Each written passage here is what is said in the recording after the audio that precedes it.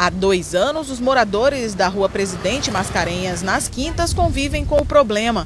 Segundo Dona Maria Margarete, constantemente essa fossa que fica em frente à casa dela estoura e a água servida escorre pelo meio da rua.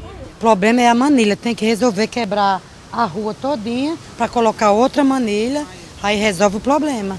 E eu gostaria que tirasse da minha calçada os vizinhos não estão se incomodando, achando que o problema é meu, que não é, né? A Caerne, Companhia de Água e Esgotos do Rio Grande do Norte, já foi acionada várias vezes, mas ainda não resolveu definitivamente o problema. Medidas paliativas são tomadas, mas duram muito pouco. O meu esposo foi pela quinta vez, eu já liguei duas vezes e até agora nada, tá aí.